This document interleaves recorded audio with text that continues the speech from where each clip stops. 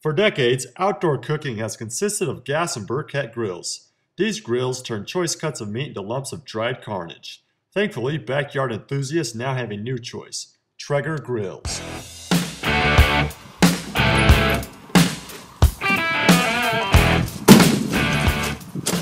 My name is Bob, and I approve this message.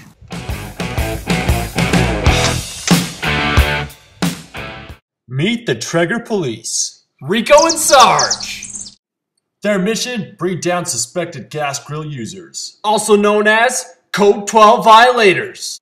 Have you ever grilled with gas, man? Don't you lie to us! Don't you lie to us! Yes. Oh, this is over. Get out of here. Get her out of here. This is the Traeger Police. We're on a stakeout. Sarge, I smell gas. Oh yeah, they fired up the old gas. Let's bring them down. No more gas, Traeger or else.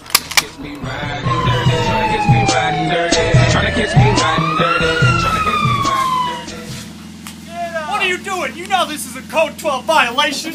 No more gas grilling for you folks. This is a Traeger grill. It smokes, it grills, it does it all.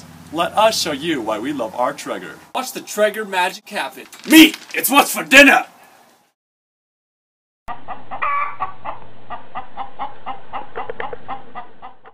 I got the magic in me. Every time I touch that track, it turns into gold.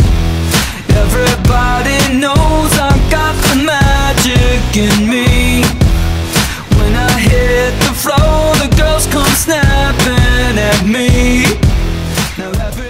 Everybody. So we're sitting there. Pretty good.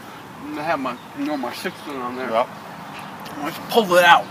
Just lightning fast and just boom, boom, boom, boom, boom.